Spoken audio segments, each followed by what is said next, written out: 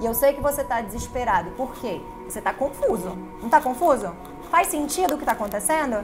Você tem ideia do que está acontecendo ou o porquê que não deu certo? Se funcionou para aquele ali? Nossa, Thaís, mas o animal daquele tutor tinha exatamente as mesmas lesões do meu, tinha exatamente o mesmo processo, era irmão do meu. Não vai funcionar, tutor. E isso vai te deixar desesperado. Outra coisa, se você deixa a análise na mão de outra pessoa, se você fica pegando dica de outra pessoa, você não vai ser autossuficiente. O que é autossuficiência de um tutor?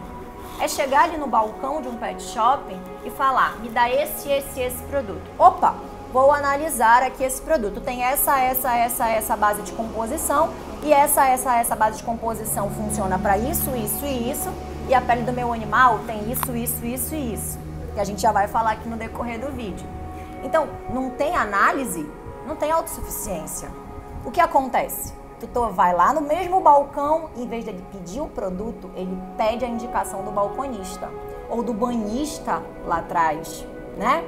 Ah, me diz aí um produto que é bacana para animal alérgico. Me diz aí um produto que vai resolver o processo definitivamente.